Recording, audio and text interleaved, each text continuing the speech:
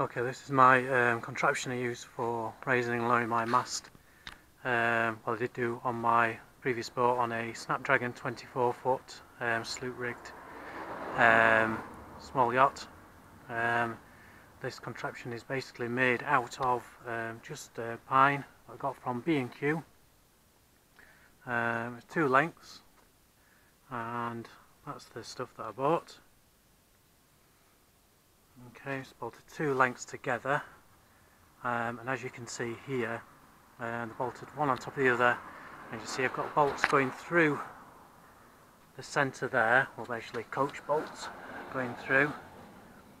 Um, and this means basically I could just adjust it to the correct length and size um, once I got it on the boat. So I'll basically set this up at home um, apart from drilling these bolts through um, which meant I could slide top one or back one forwards or backwards to get the right length. Um, so how I do it is at this end here, I've got this bit of plastic tube to represent the mast. No, it's not the same size of the mast. Um, but um, obviously I'm not to, I don't, I can't, it's not easy to film this obviously on dry land. So using this bit of waste pipe here as representing the mast. So I've cut this V-groove in the end of my contraption here and hold it in place while I set it all up and hold it in place whilst using it for raising or lowering the mast.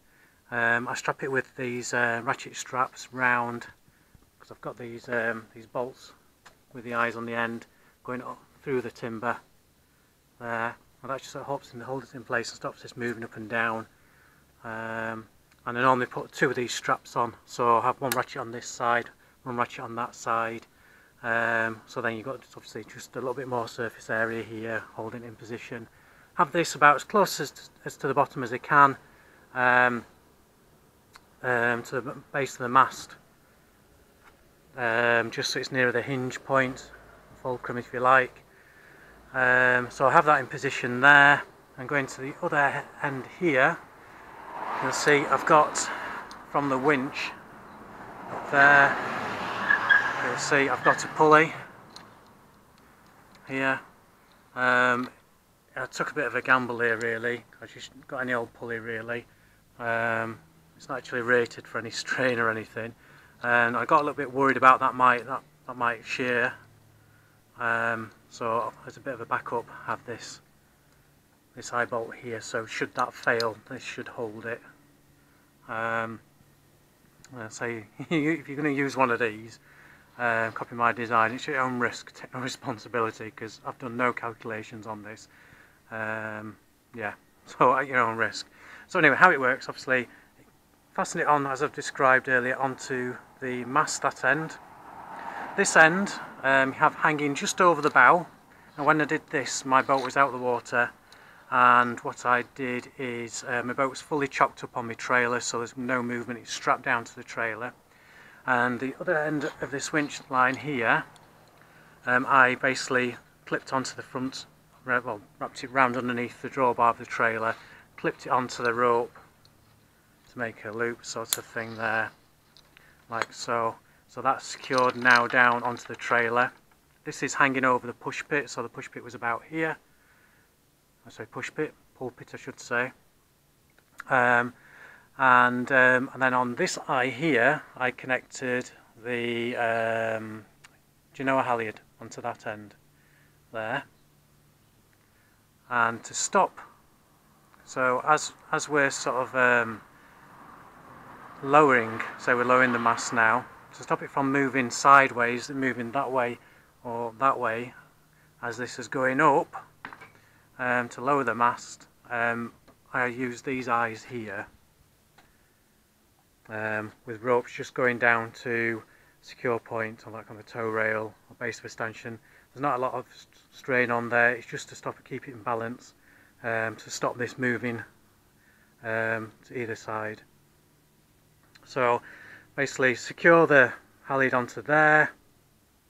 And you know a halyard, this is onto the, onto the um, around the trailer, this, this wire here take up a little bit of strain with the winch there down here with a trailer winch which is bolted all the way through this first section of timber. I mean you should ideally bolt it through two to be extra strong but that's fine. I was happy with that. Um, yeah and then basically I disconnected the forestay and because the the Genoa halyard is now attached to this um, I can now basically just um, gradually lower it back by just winding this.